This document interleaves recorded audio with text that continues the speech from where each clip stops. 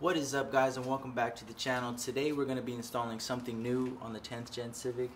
This has been sitting around the garage for well over two months, maybe more than that. I lost count, but I stayed patient for it um, to install it, especially for you guys.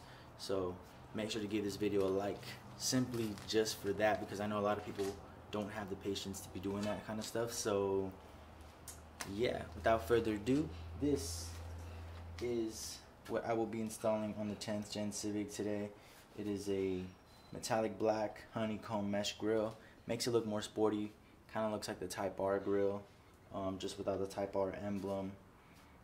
Um, I think it's a really good looking product. Uh, there's a lot of great reviews on this um, from Pro Civic and you know just a, a bunch of people that upload videos on how to install these and stuff. So yeah, I'm gonna get this install started and feel free to stick around.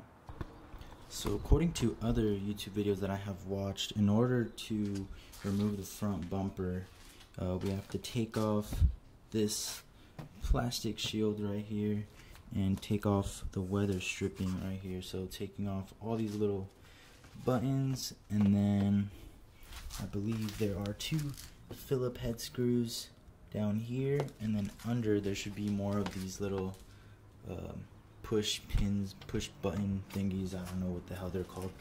Um, and then there should be some like 10 mils just like this. So uh, yeah stick around and see how this goes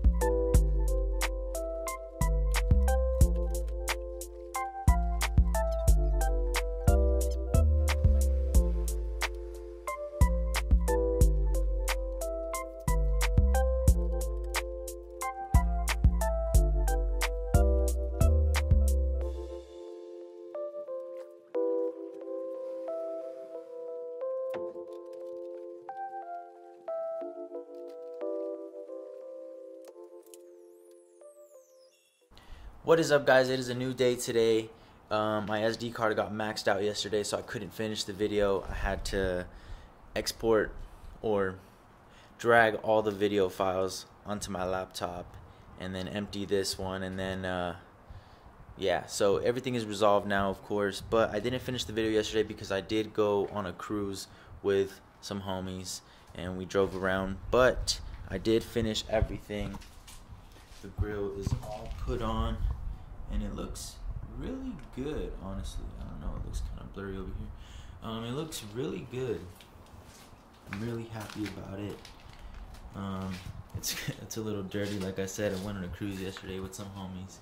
So uh, the only complaints I have is that it has this little gap right here. I tried doing my best to to get the right fitment but I mean maybe that's the eBay side of things. And also right here it did not want to clip in. So there's a little bit of a gap right there but from a distance you really can't tell. And it just looks way better than the OEM chrome one that comes with the LX models. So I'm pretty happy about it. If you guys think it looks good leave a like leave a comment on how you feel about it um, for the most part I am pretty satisfied it's just it's way better than the chrome one I was going to wrap the chrome one in black but I just I just really think the mesh looks way better. So yeah. So if you guys like this video, don't forget to leave a like and a comment down below on how you feel about the new grill on the Civic. Um, you guys can also comment things I should do, like what kind of mods you want to see, or you know if you guys have any ideas, I am down to uh, get some ideas off of you guys as well. Um, on top of my ideas that I already have. So yeah, I'm gonna try to drag out as much content as possible you know, quarantine gets boring, so, you know, got to do what you got to do, I guess. But stay safe, guys. Um, have fun. Definitely go out and do some cruising uh, to, to get out of the house. But, you know, if not that, then just stay home, stay in quarantine, and just be safe. So, uh, yeah, don't forget to like, comment, and subscribe, and turn on post notifications, and I will see you on the next video.